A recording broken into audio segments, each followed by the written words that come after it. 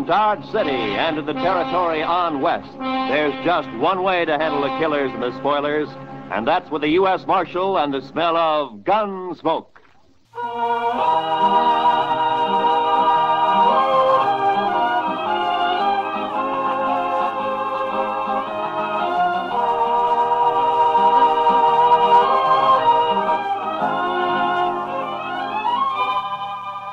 Gunsmoke, starring William Conrad, the transcribed story of the violence that moved west with young America.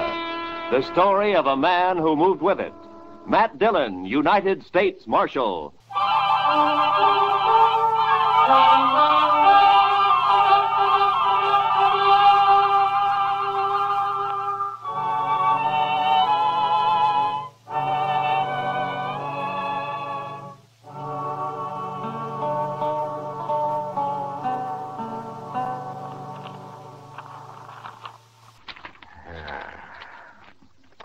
This everything, Chester? Well, there might be more later when they finish sorting the mail. Hey, where's that telegram? Oh, what telegram? I thought I put it right on top. Let me take a look. Oh, yes. Here it is. Might be important. Oh, we'll soon see. Well, it's from Bill Hickok. Up in Abilene? Yeah. What'd you say, Mr. Dillon? Teeters and Gridler headed for Dodge. Keep them there, but don't arrest them until I get there with murder witness. Or I'll write Washington all I know about you. Signed Hickok. Oh, then Mr. Hickok's coming here, huh? That's what he says. Well, how'll you recognize those two men, Mr. Dillon? I expect I'll recognize them all right. Oh, you know 'em. Yeah, we've met. Teeters and Gridler are gunmen, Chester. The kind who kill as easy as most men shake hands. Just about as often. Too bad you can't just put 'em in jail. Yeah. Well, we'll start meeting the trains. There's one in at noon, sir. Good. Then we'll meet it.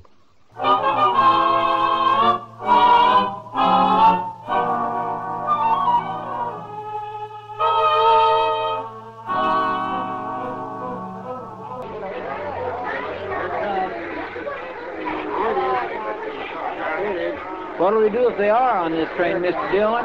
Nothing, Chester. I'll find them later and talk to them, but not in a crowd like this. Yes, sir. You know, every time I see a train, I am just overpowered with the urge to travel. Oh? Where to? Anywhere. Anywhere but Kansas. Well, I don't think you'd like it back east any better. Why not? You just have the urge to come out west again. I know you're kind. Mm, I suppose you're right, sir. But still, it'd be good to walk down a street that wasn't all heat and dust and that wasn't crowded with a lot of grimy men looking for trouble. And I wouldn't mind seeing some women, married women, with kids and parasols and Wait a minute, Chester. There they are. Where They just got off the end car. Those two headed for the depot there. one of them's tall. Yeah. That's Teeters in the black hat. The other's Gridler. I'll just step around the corner here and see which way they head. Yes, sir.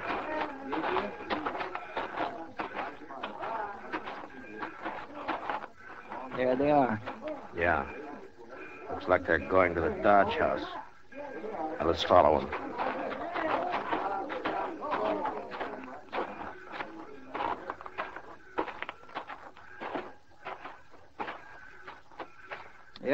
That's where they're going, all right. Now let's wait here. I'll let them get a room, and then I'll go talk to them.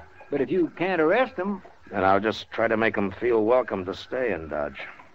when do you think Mr. Hickok will get here? Oh, be a couple of days anyway, Chester.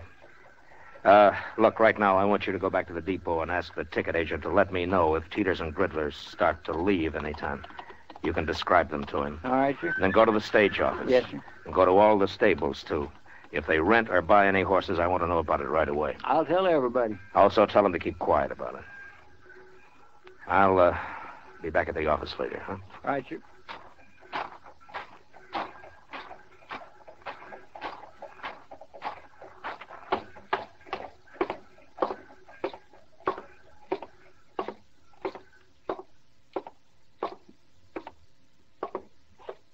You what can I do for you, Marshal? Two men came in here just a minute ago. One of them was tall, black hat. Well, Well, what, Marshal? Uh, you were here. Did you see him? Those were gunmen. I could tell. Uh, the tall one's Teeters and the other one's Gridler. Those are the names they gave you? Mm, yes, but there'll be trouble if you try to arrest them here, Marshal. Can't you wait until they're outside in the street someplace? No? What if they're after you? I've got nothing to do with men like that, Marshal. There's no reason in the world that Now, they... just take it easy. They never heard of you, and I'm not going to arrest them.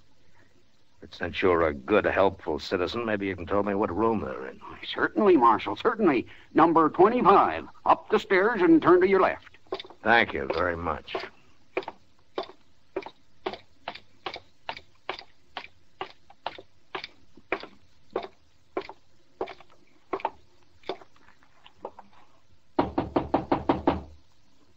Who is it? Uh,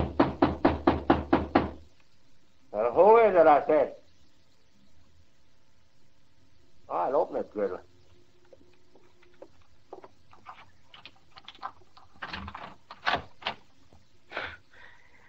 You can put your gun away, Gridler. I just came for a little talk. And make your talk, Marshal. No, I ain't polite, Gridler. Let him in. Watch him better inside, anyway.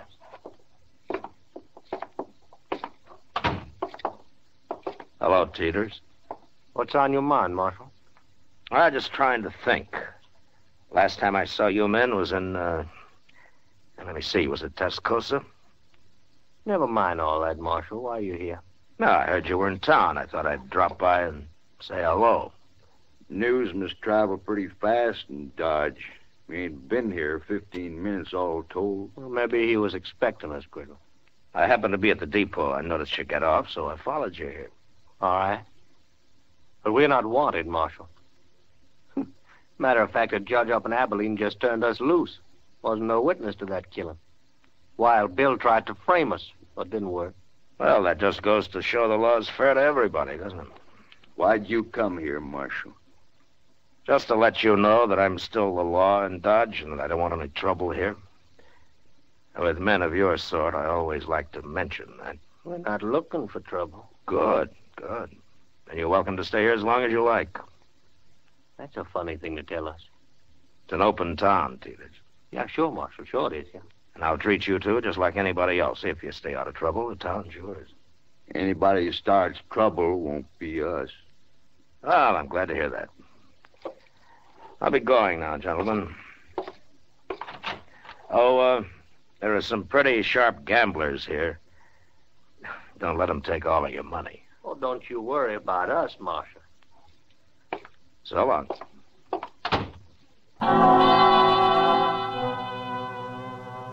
Was no way of figuring how long Teeters and Gridler might stay in Dodge.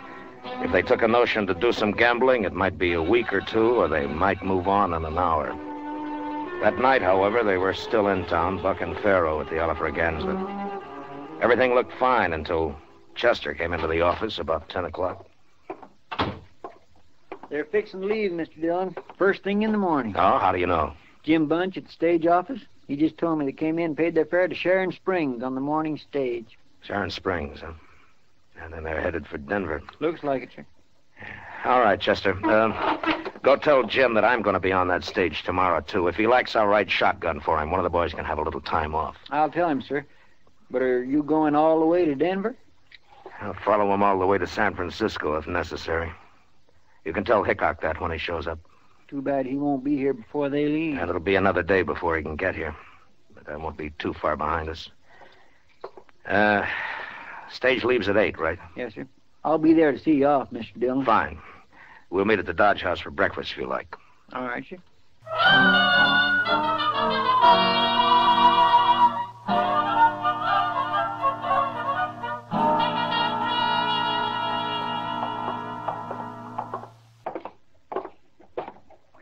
The stage looks like it's all ready to go, Mr. Dillon. Yeah, I don't see Teeters and Gridler, though. They're not inside, are they? I don't think so. No, they're not here yet. Just about 8 o'clock. They should be here. Well, it doesn't matter, Chester. If they've changed their minds, it's all to the good anyway. Want me to go ask Jim Bunch if he's heard from them, Mr. Dillon? Uh, no, no, let's just wait here. Oh, say, I forgot to tell you. Jim said the regular shotgun messenger has to go up to Sharon Springs anyway, but to thank you just the same. No, good. Chester, Yes, sir? look up at the other end of the plaza there. Coming this way. Well, I declare. It's Sam. Yeah. Now what are they up to, I wonder? Well, they can't be taking the stage if they're horseback. No. Looks to me like they're fixed for a long ride, too. Sure does, Mr. Dillon.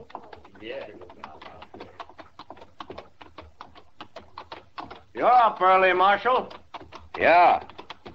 So are you, Teeters. It's Cooler in the morning. Uh, for traveling, it is. So long, Marshal. What's the matter? Did you lose all your money last night? Yeah.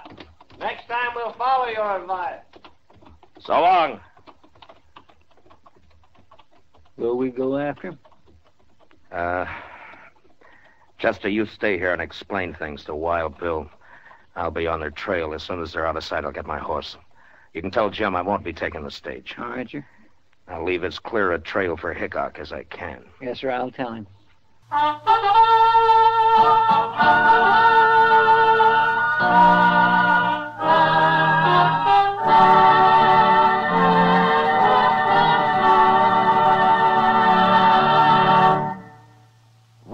Return to the second act of Gunsmoke in just a moment. But first, young women are needed to enroll as student nurses and to take their places as graduate nurses in an ever expanding field where opportunity unlimited awaits. Older women should seek careers as practical nurses where fine living and fine working conditions are in prospect. Ask at any hospital at the nurses' registry desk or at any qualified school of nursing. And now, the second act of Gunsmoke.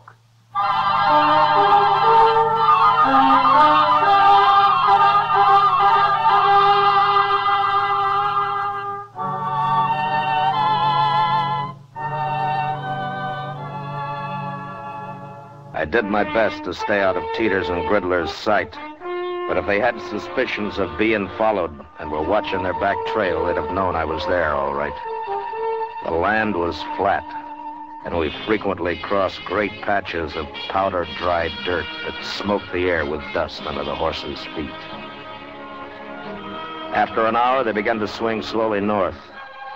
And by noon, it was clear that for some reason they were riding in a great half circle. They'd left Dodge, headed west, and sure enough, just after sundown, they rode back into town from the east. I waited until dark, then came in. Put my horse up. The office was empty, so I walked up to Delmonico's, where I found Doc having supper. Oh, Matt. Oh, sit down, sit down, sit down. Oh, thank you, Doc. Oh, you look hungry enough to even eat this food. Yeah, it's been a long time since breakfast, Doc. yeah, the man ought to eat three meals regular, Matt. You'll uh, get run down if you don't. yeah, sure, Doc. Only sometimes you have to eat when you can. Oh, so. Did you have a hard day, Matt? Yeah, I've been riding, Doc. Riding around in circles. Oh, is that what the government pays you for? Oh, I'd like to have your job. eh? I wouldn't be too sure of that, Doc. It isn't always this easy. yeah, I know, Matt. Chester told me. What happened? You, you lose them? No, I didn't lose them. As a matter of fact, they're coming in here right now. Huh? What do you mean they're coming? Those two? Yeah, They're pretty hard-looking fellas. they are. Evening, Marshal. Oh, hello, Teeters. Gridler. Marshal. This is Dr. Adams, gentlemen. How are you? Hi, Doc. Uh, how are you? Well, what's on your mind? You are, Marshal. What? That was you trailing us all day, wasn't it? Yes, it was. Why? I didn't want you to get lost. That's a lie. Then let's say that I didn't want you to get into any trouble. You going to tell us what it's all about, Marshal? Well, you're not exactly the most reputable citizens in Kansas. And I just wanted to have an eye on you, that's all. You sure do. Because, like I told you, you keep out of trouble, and you're welcome to stay here. Just remember one thing, Marshal. There's two of us. And next time you follow us, He might not come back. well, taking chances like that's part of my job, Mr. Teeters. It's a poor job, then. Yeah, sometimes I think so, too. Come on, Teeters, let's get out of here. Yeah. Well, they're not very polite, are they? No, but they're smart. Smart enough to figure something's wrong, anyway. Well, you think they might bolt, Matt? Uh, it depends on how smart they really are, Doc. Right now, they're so curious they might stay around just to see what it's all about. Oh, Mr. Dillon, Oh, hello, Chester. Oh, Pull up a Doc. chair. Pull up a chair, Chester. I won't have time. We better get right over to the depot. Oh, why? What's happened? Well, sir, I saw 'em ride back into town. The first thing they did was go to the depot and ask about a train. Oh, were you there? No, sir, the agent came and told me told me like he'd promised. Train goes at 7.30, doesn't it? Yes, sir. And it's just about that now. I've been looking everywhere for you. Doc, if that waiter ever does come around, tell him to hold a steak for me, will you? I might just be back for it. Uh, sure, Matt. Yes, sir. And good luck. Yeah, thanks, Doc. Come on, Chester.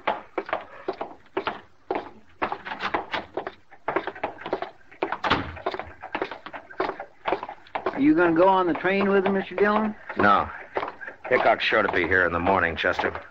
If I can keep them off this train tonight, I doubt they'll try anything else till tomorrow. Yeah, but you can't arrest them. Yeah, I know. Well, then, I'll how, just how you... face him off, Chester. So keep your head up. Yes, sir.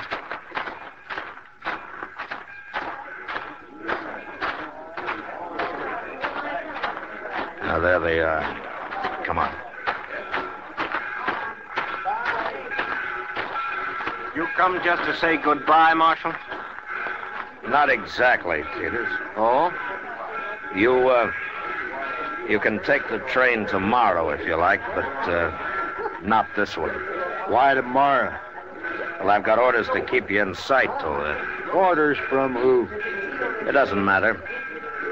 But you have your choice. You can have the run of Dodge tonight, or you can spend it in jail. I know you talk pretty loose for just one man, Marshal. Your friend there doesn't look like a gunman. Well, now, you can't always tell by looks, mister. I can. You said you didn't want trouble, Marshal, but you sure starting it. There won't be any trouble. You do what I tell you. And if we don't, I'll kill the first one of you that moves for that train. you can die that way, Marshal. Maybe. But you won't both get on that train. Gridler, You know me. You know I'll do it. we can still make it, Gridler. No, it's not worth it. We can go tomorrow. All right. Marshal, tomorrow it'll be different. Yeah, sure, sure. Tomorrow it'll be different.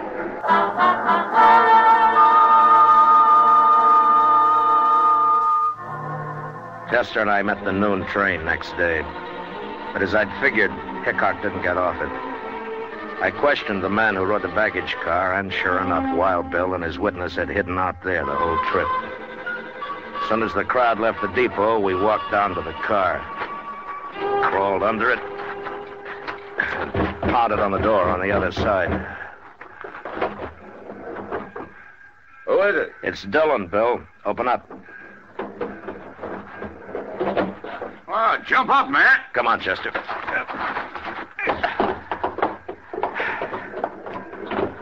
Oh, Matt, how are you? Oh, fine, Bill, fine.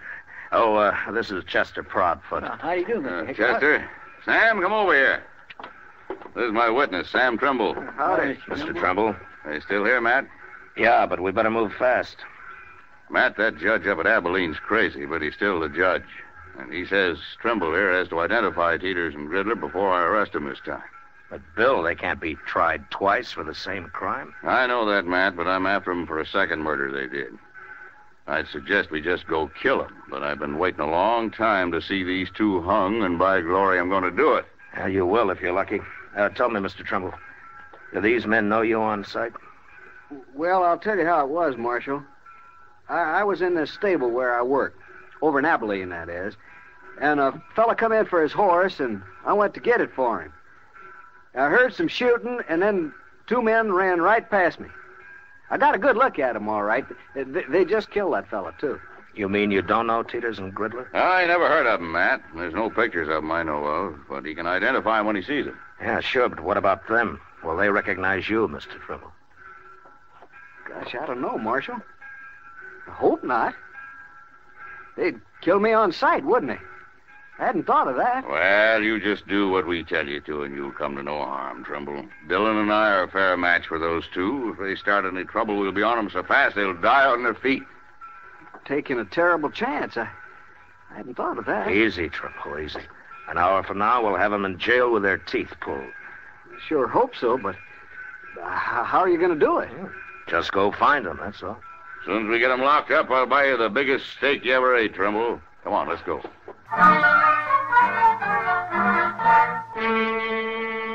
I took Hickok and Trimble over to the Texas Trail, where we decided we'd wait while Chester located Teeters and Gridler. Then we'd just walk in on them and get it over with fast. I introduced the two men to Kitty, and we ordered a couple of drinks for Trimble, who was getting jumpier by the minute. What are you two heroes doing? Getting this poor man drunk enough to fight him? Not exactly, Miss Kitty. He just lacks faith in us, that's all. Ah, I wouldn't have come if I'd thought about it. I, I sure would. Look, Trimble. It isn't often a man has both mine and Matt Dillon's guns behind him. You're as safe as you'd be in church. I don't go to church. Uh, here, Mr. Trimble. Have another drink, huh? Uh, I, I will in a minute. I'm going out back first.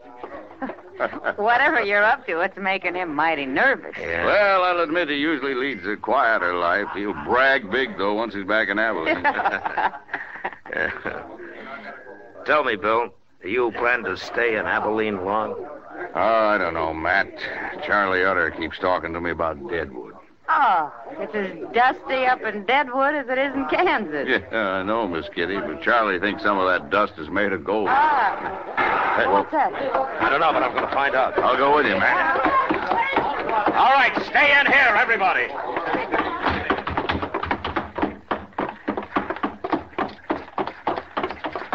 It was Teeters and Gridler. I was just crossing the street and saw them run out of the alley there. All right, come on.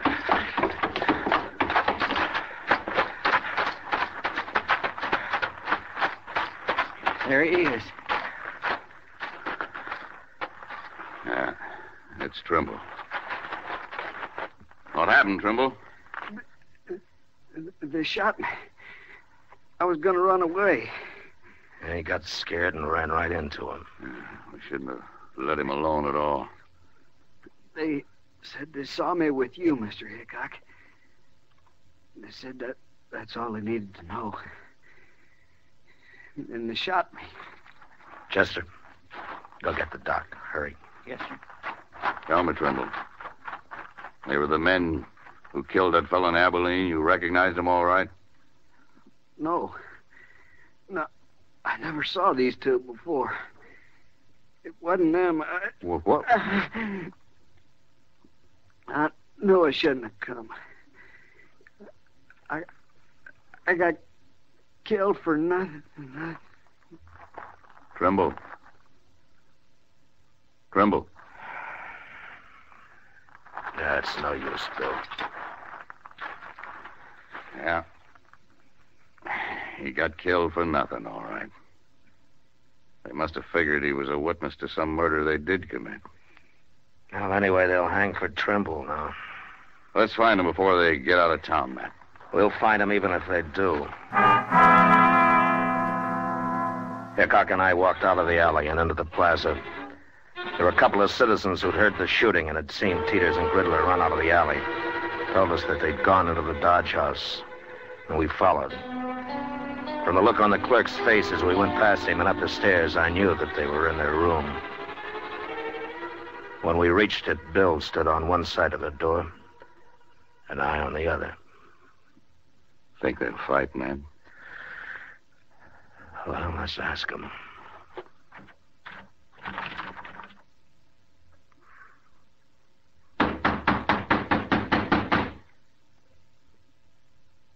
I told you they'd follow us, Teeters. Now we're trapped sure. Shut up, I said. They'd have got us to the street on the otherwise. Open the door. Throw your guns out. There's no use trying to fight. There's no use in hanging neither, Marshal. You can just take us the best way you can. No. Our chance hanging. We got off once. He... Then you get away from that door. I've listened to you enough. I ain't facing Dillon and Hickok both now. Hold your hands clear of that door. Teeters, you shouldn't have... Hold it. I don't. Don't you try to convince us.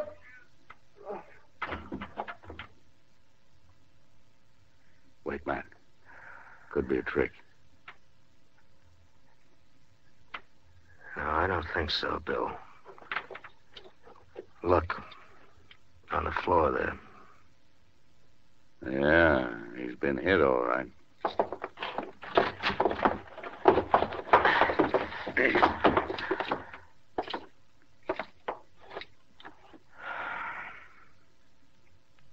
Well, they're both dead. Well, I sure never expected this. Saved us doing it, maybe. Gridler lost his nerve. Blast him. Shooting was too good for these two. I wanted to see him hung. How things don't always work out, Bill. Well, they sure don't. Not lately, anyway. Matt, I think I'll go up to Deadwood with Charlie Utter right soon, after all. Maybe I can find me a little peace and quiet.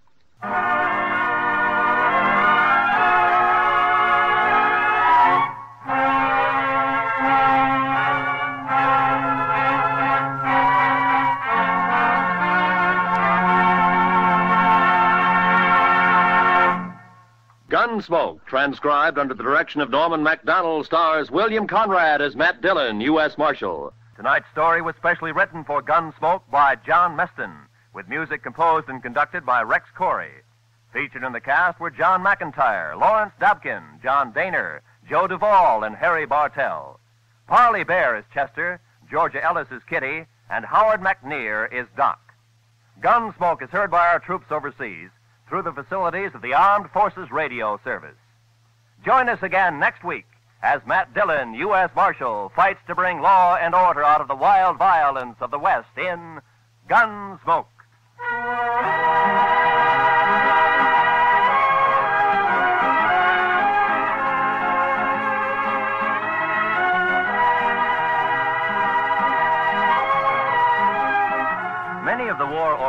Korea have never known peace or plenty.